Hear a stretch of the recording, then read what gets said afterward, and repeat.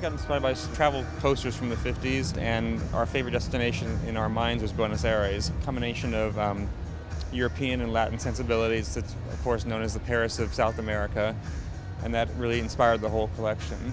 She was so international, uh, so chic, and um, sensual but tailored at the same time. They make women look feminine and feel beautiful, and that's what I love about them.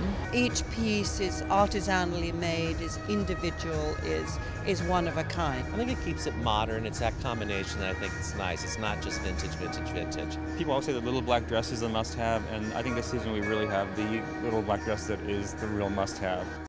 Very different from her past shows. I like it. I've always wanted to just throw a big party. Well, a lot of beautiful sleeves. The colors are a gradient of like pale pink up to like a hot orange. And then the same thing with like pale blue to hot turquoise. There's just a hit of color on the eyes to give it that sort of the artsy girl goes to a, an art opening kind of look. And that sort of low side part, which I love what brings me here to see the show and to wear this cool outfit. We started with the idea that this girl takes her boyfriend's shirt and wears it as a dress and layer this kind of iconic biker jacket and all the pieces on top of it.